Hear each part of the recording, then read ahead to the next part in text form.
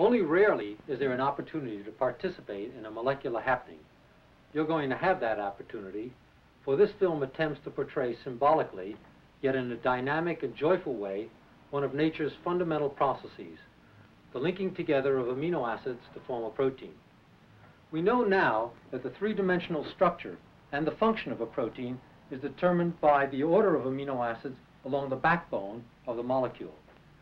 So protein synthesis involves programming and assembly. And this film, with people portraying molecules, using the dance idiom, tries to animate these two processes, the programming and assembly of a protein.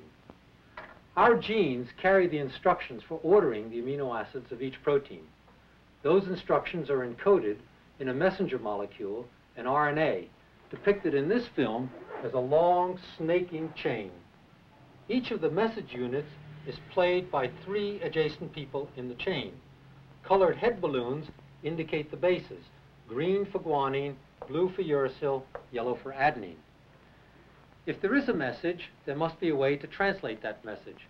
And that's the job of the ribosome and of the transfer RNAs.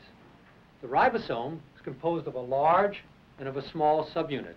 And these are depicted in the film as tumbling, rolling clusters of body, amorphous by themselves, but organized and structured when in the act of translating the message. First, the small subunit, with the aid of an initiation factor, captures the message. Then, the first transfer RNA, carrying its cognate amino acid, is brought to the ribosome message complex by a second dancing initiation factor. This requires energy and that's represented by a puff of smoke.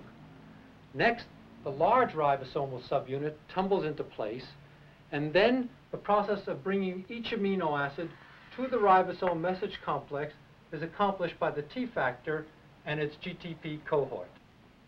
And so, in the order prescribed by the balloon colors in the message chain, each amino acid is brought to the assembly site to be added to the growing chain by the peptidyl synthetase.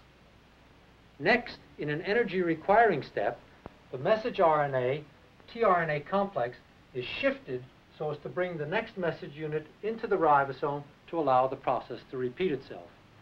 At the end, the terminator factor, seeing the termination signal, cleaves the completed protein from the last tRNA, releasing it from the ribosome. So that the ribosome can do its job again, the two subunits are split apart and separated from the messenger by the ribosome releasing factor.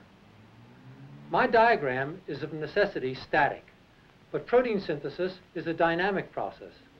This movie tries to bring those dynamic interactions to life.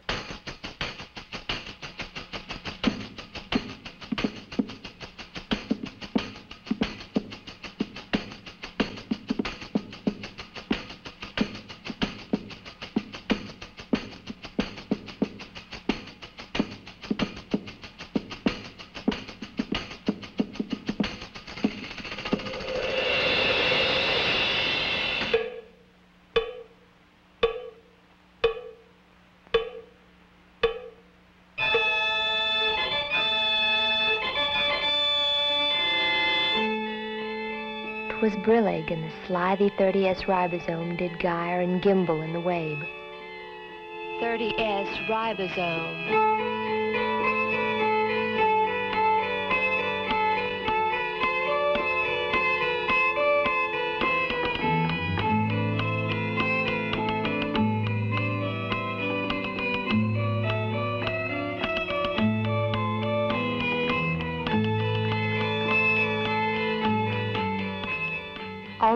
Was mRNA, that colored message unit array.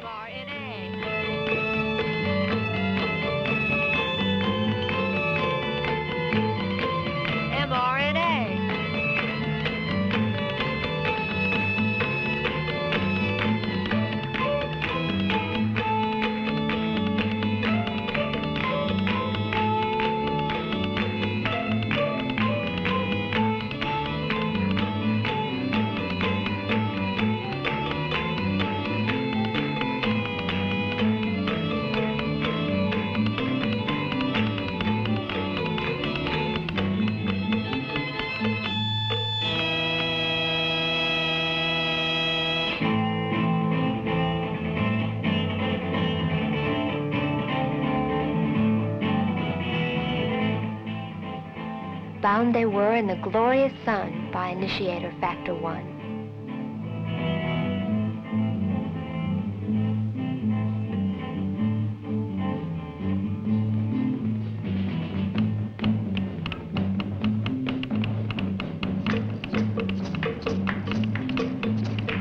Initiator factor two.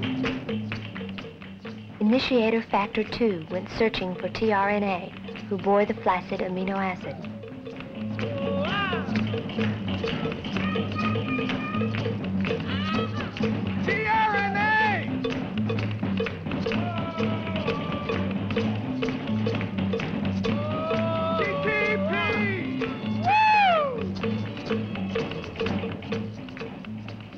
Then, as the uffish bonds were formed, the 50S ribosome untamed came whiffling through the tulgey grass and burbled as it came.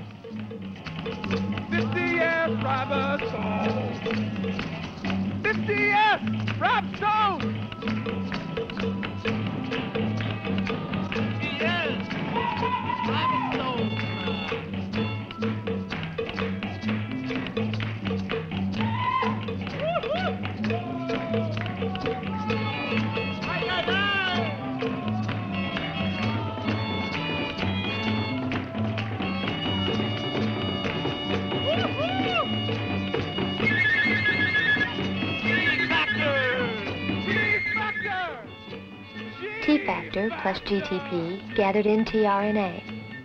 tRNA! Woo!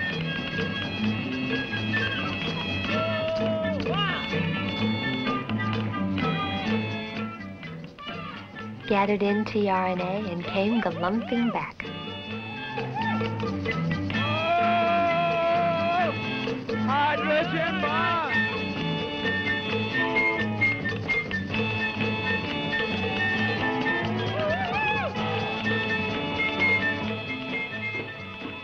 Amino acids both inside, alas, the peptide bond was formed.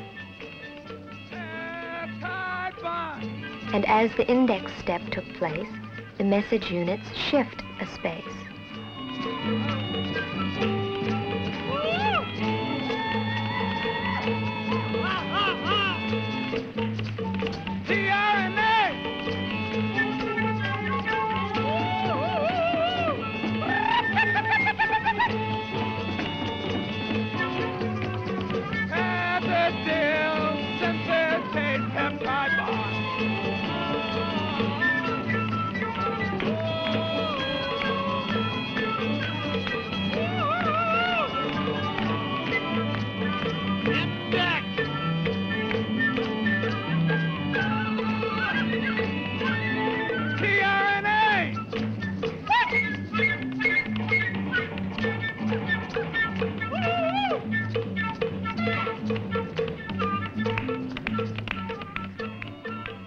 tRNA approached the site bearing its amino acid load, whose sequence was determined by the mRNA message unit magic code.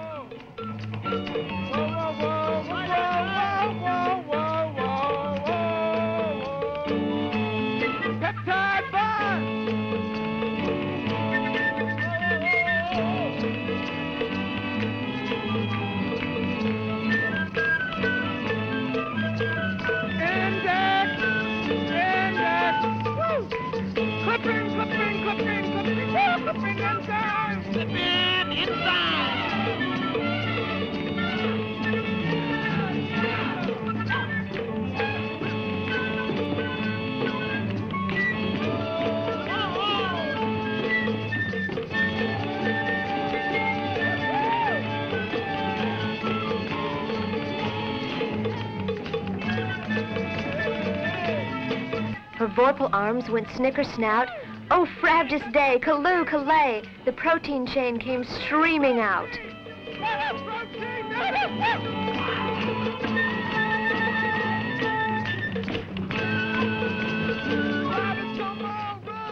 Then ribosome releasing factor, with jaws that bite and claws that free, released the synthesizing complex and chortled in his glee.